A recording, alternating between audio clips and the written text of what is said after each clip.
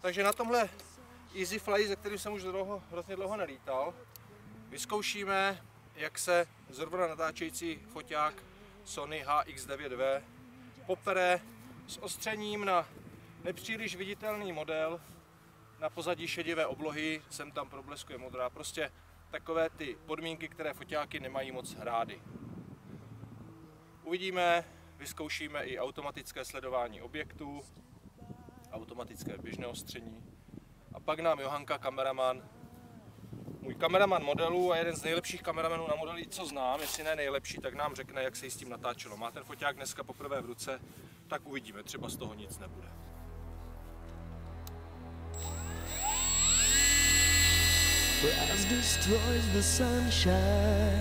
Not so good for me.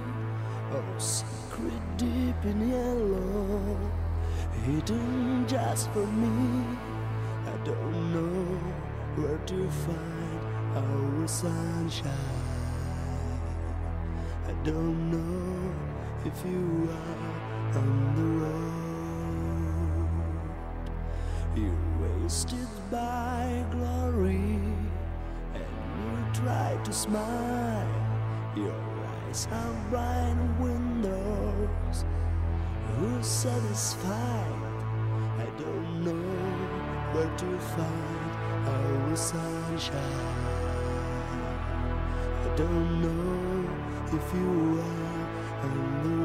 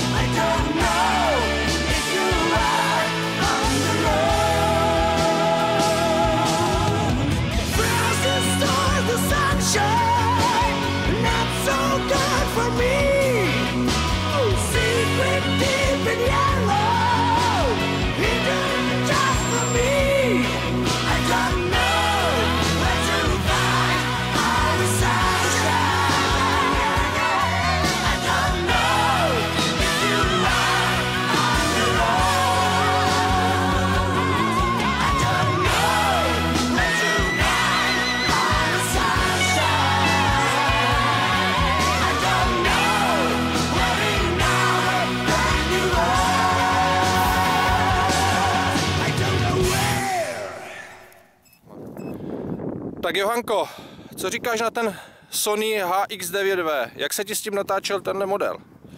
Co? No, na to, že to nemělo hledáček, tak docela i dobře, až na to zoomování teda. A co je se zoomováním? No, jenom jedna rychlost, Otoč se ke mně. jenom jedna rychlost zoomování, takže je to neobratné dost. Někdy pomalé, někdy rychlé, myslíš? Ne, pořád pomalé. Pořád Nedá pomalé, se, jo? Když se letadlo rychleji přibližuje, nemůžu rychleji odzoomovat a prostě ho Jo. nekliknu. jo. A No a ten displej, jak je čitelný? Ono i trošku svítilo sluníčko, jak se ti, jako prostě, když bylo letadlo vysoko, jak se ti zoomovalo. ono celkově se natáčí s displejem úplně pitomně, prostě. Jo, Ale uh, taky ty informace nejdřív jsem se v nich moc nevyznala, protože jsou všechny úplně jinak. jo, jinde. než na kanonech, že? No a taky ty čísla, kolik, kolik je ten čas zrovna, je to dost malé. Je to takové tam nepřehledné.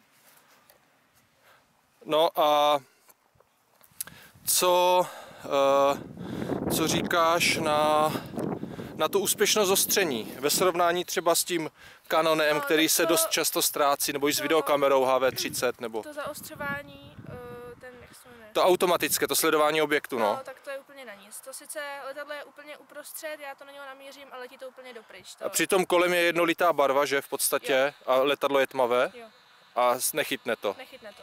Hm, nestíhá. Třeba vteřinu dvě, jo, a pak to odlítne úplně někam. Jo, jinam. jo. Funguje to.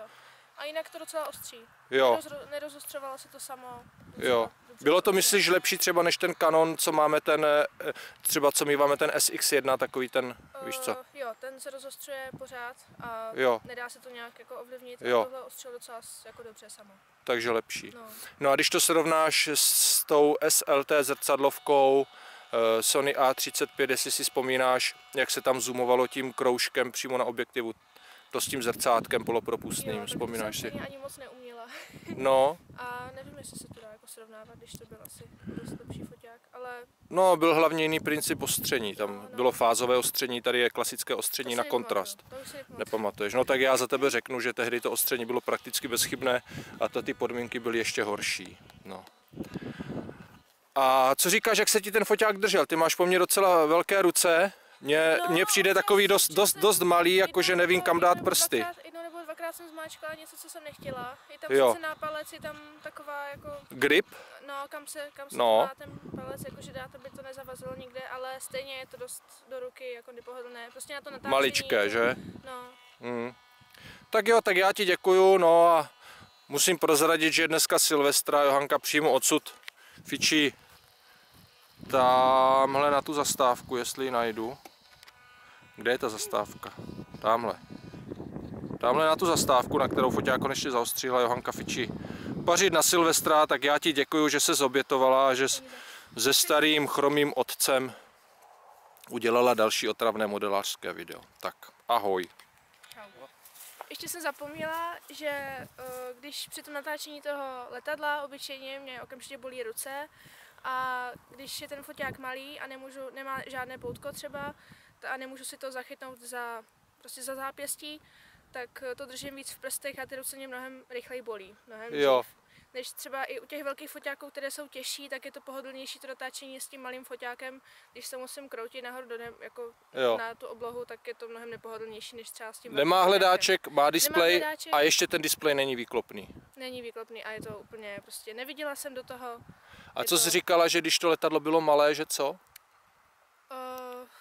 čím Když myslíš? bylo, říkala, že zapomněla, že když letadlo bylo malé na displeji.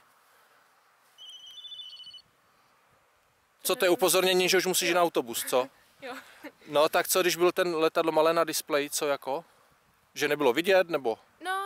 No, no, protože není výklopný displej a tak se musím úplně celá zaklonit a to mě bolí záda, ruce mě bolí, protože to je prťavé, blbě se to drží v ruce, nemá to ani poutko, teď se bojím, aby Tož poutko se tam dá přidělat samozřejmě. No jasně, no, tak ale je to méně pohodlné než s nějakým větším foťákem, který navíc mám kde chytit. Jo, nebo s kamerou, kterou si pověsíš na ruku veliký. No, to samozřejmě. je úplně Jasně. No, tak jo, tak upaluj, a ti to neujede. Ještě, ještě jsme, autobus nám vydáš za chvilku, ještě jsme zapomněli, co říkáš na, to, na ten steady shot, na, to, na ten protitřes rukou. Jo, to funguje. Jo, i když, to- i když hodně přizumuješ, tak se to letadlo dá udržet, že? Jo, dá, ale Když už ho... Jenom videa s kočkama. Mám pocit, že už ti to jede. To trošku zajímá, ale Prosím tě, tak pomáhej slabším a silným ustupuj. Jo? Pomáhej starším, co máš říct? dobrá. Pomáhej starším lidem. prosím tě, a moc se neožer. A teď řekni no dobrá. No počkej, nenastoupíš do autobusu, dokud mi neslíbíš, že se moc neopiješ. No dobře, tak ahoj.